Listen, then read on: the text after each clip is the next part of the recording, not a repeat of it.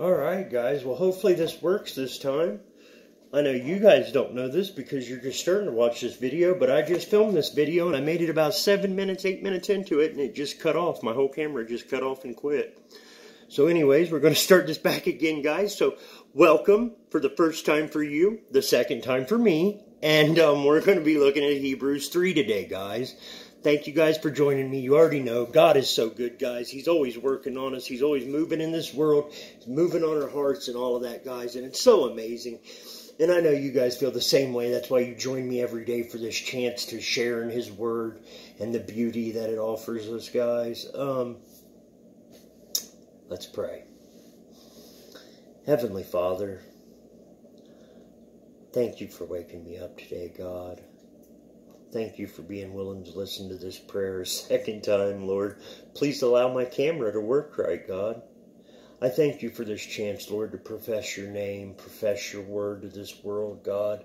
I can't thank you enough for the life that I get to live, Lord, the people in my life, the salvation experience, just all of it, Lord. I just, I want to open my heart up to you, God, and just let you see all the things that I am so grateful for Sometimes I forget to say him out loud, Lord, but I am just so filled with gratitude for everything, God. I would ask that this video, Lord, be a nourishment to your flock. And I would ask that it be able to reach someone out there, Lord, who is still lost to the grasp of the enemy and the lies of sin and the world and secular carnality and the nature of the flesh, Lord. Allow us to be bold Christians, Lord, to profess your name and your love and your words, Lord, that shine your light into this lost and fallen and darkened world, God.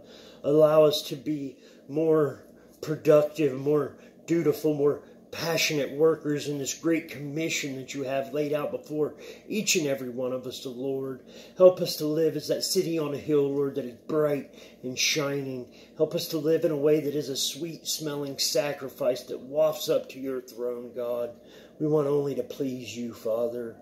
I pray for a hedge of protection around the lives and a blood covering over the hearts and minds of children and the infirm and anyone unable to do so for themselves, God. Help us to live in a way that glorifies you, God. And I pray all of this in your heavenly and holy name. In Jesus' name, amen, guys. God is so good, y'all. He really is. Let me hurry up and get this started, and we'll see if my camera works this time.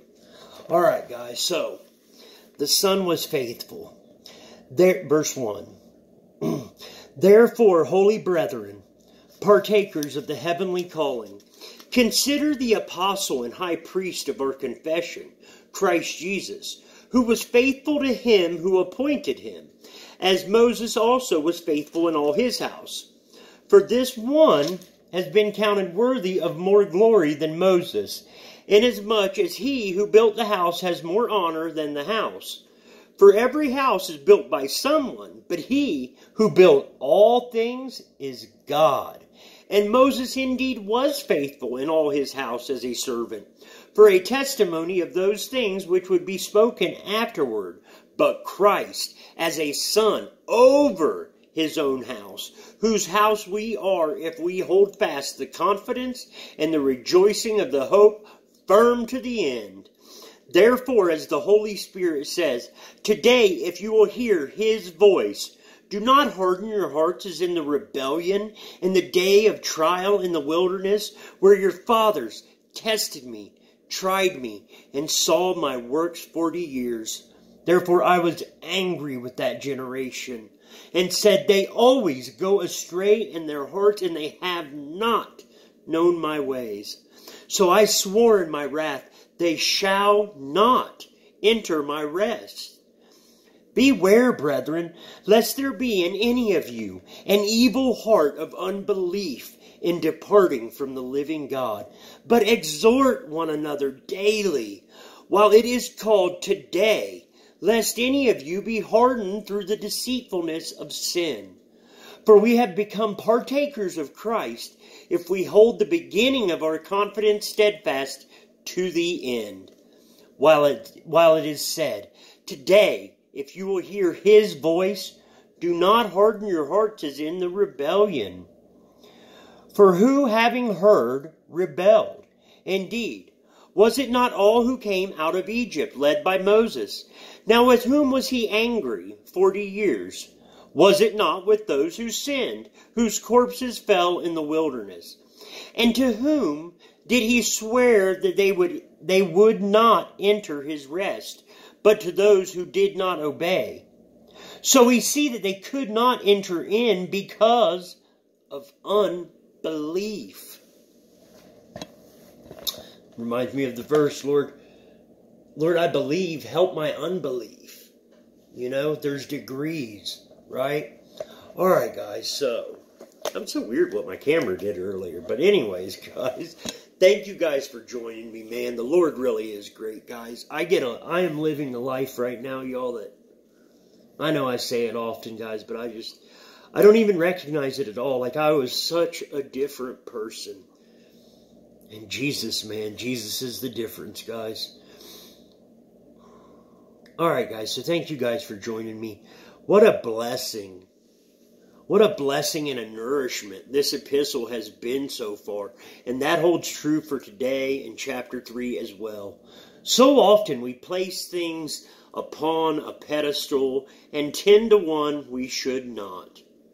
With today's reading, and in particular the opening verses, point truthfully to the superiority of Jesus Christ over Moses, even. The author touches on the truth that the builder exceeds the building, the creator, greater than the creation itself. It's logical. Following that same path, the Son exceeds the servant. Also, before looking at verses, I'd like to touch on the word consider from verse 1. Let me read that little portion.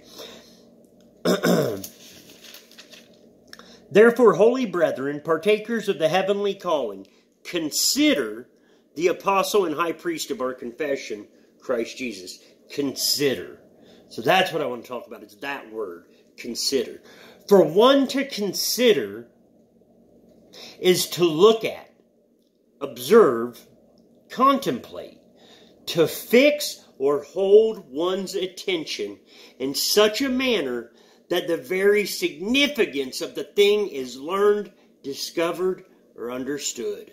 I'm going to read that again to you guys because look, I think a lot of times in the world nowadays, or maybe this is just in my own heart, when I hear people say consider, or I myself say the word consider, a lot of times I mean, I kind of glanced at it. I guess that thought rolled through my head like, you know, I'm thinking about ways to do things, and so I've considered this way and I've considered that. But really, what I've done is just kind of thought on them for a second. But but let's look. Let me read that definition of consider again to you guys. So, for one to consider is to look at, observe, contemplate, to fix or hold one's attention in such a manner that the very significance of the thing is learned, discovered, understood, all of creation exists in such a way as to naturally reveal the Creator to any who would but look openly.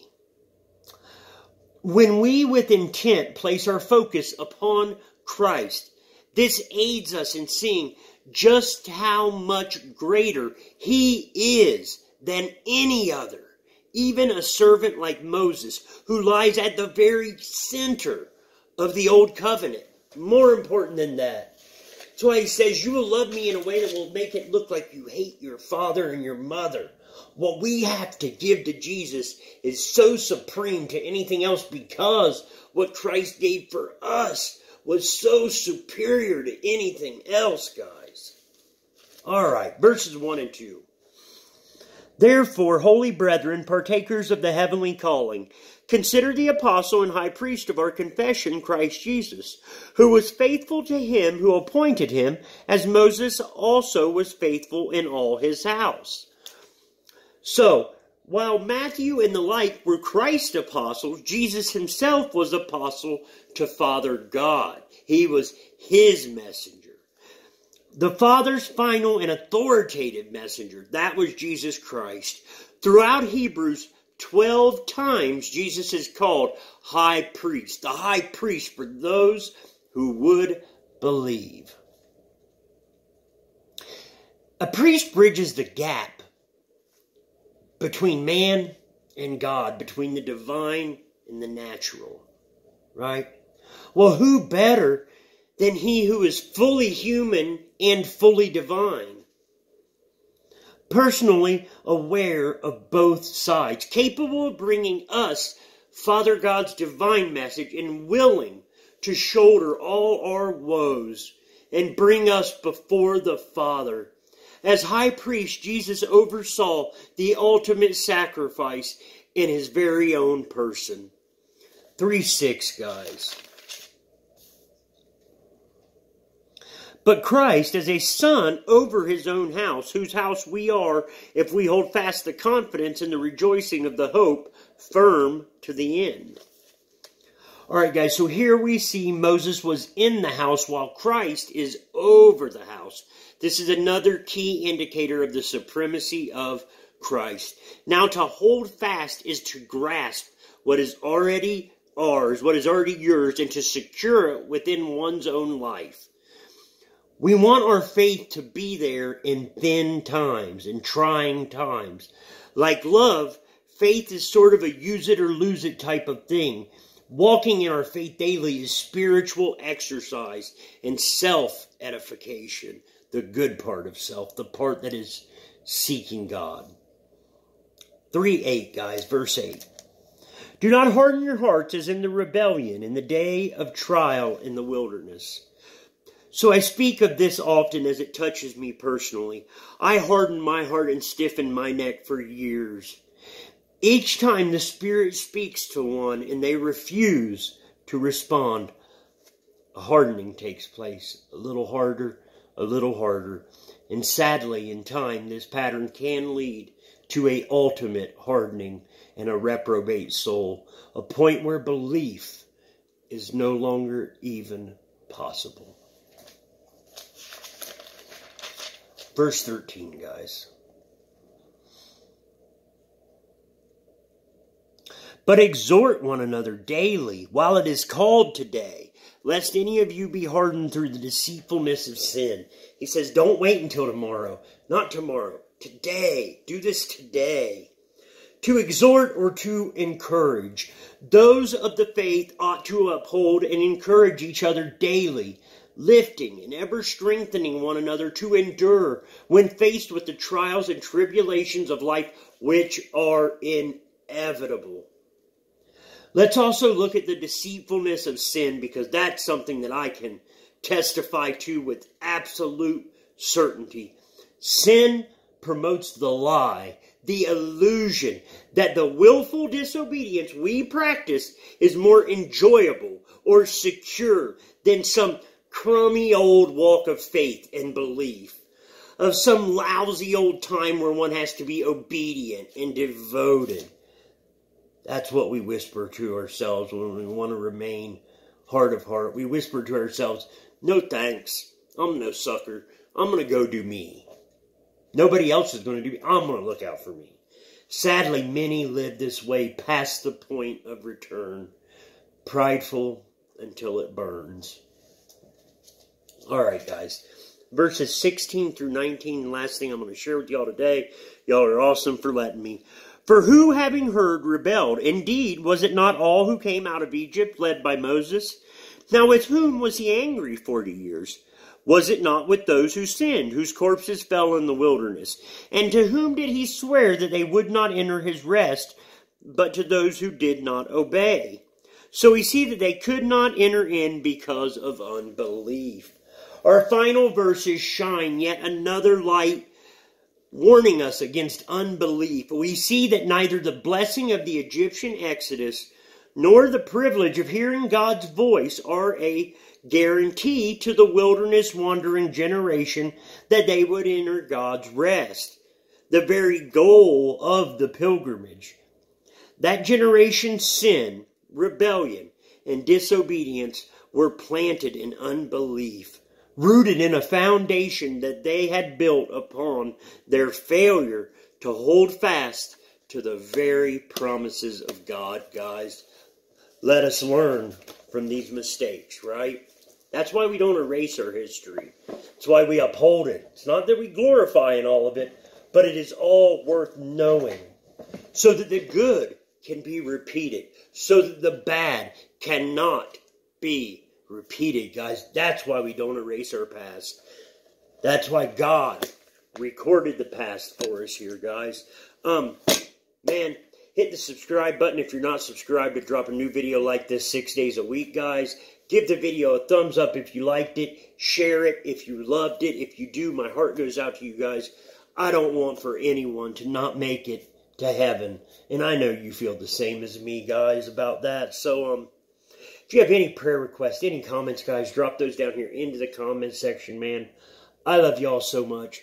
Father God loves you much more than that, even, guys. Please go out there and have a blessed day.